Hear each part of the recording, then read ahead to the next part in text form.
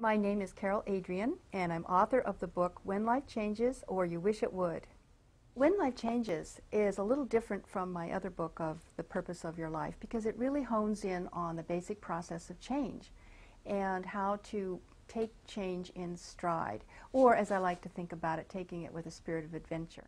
I wanted to show you the map of change in the book. It's a graphic about the cycle of change, which is really coming from a myth, mythical journey or the archetypal journey of the hero.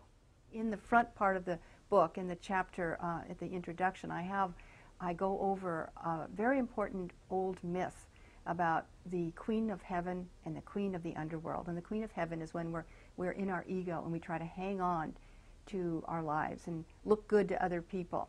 And change takes us down into that underworld where we're stripped down and our ego is lost and we have to give up certain things. And that's really what we call the void. And I meet a lot of people who are in the void and they read the book and they tell me, oh my God, I was in the void and I didn't know what to do. And you don't down there. It is almost as if you're going through a psychic death.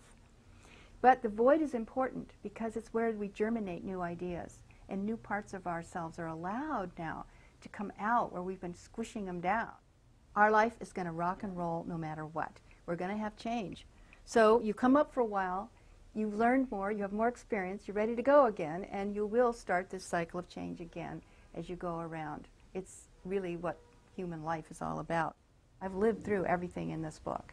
So, um, yes, I, I, do feel my life has changed, and um, I do feel that there are principles that you can remember to really listen to your intuition, really look for the message in everything that happens to you.